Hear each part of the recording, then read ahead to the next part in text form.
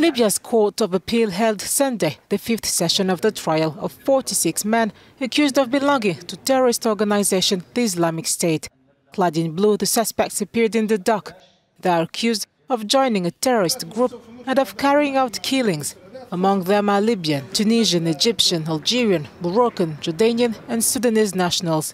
During the session, which was attended by families of victims, the judge listened to eyewitness statements. The Islamic State organization took advantage of the turmoil following the murder of Libyan leader Muammar Gaddafi to set up a base in the nation. In 2015, the terror group captured the coastal city of Sirte. They lost their bastion after heavy fighting with national forces in 2016. Fighters from the operation who fought Islamic State militants were in the courtroom. Relatives of the victims have appealed for the hardest punishment possible.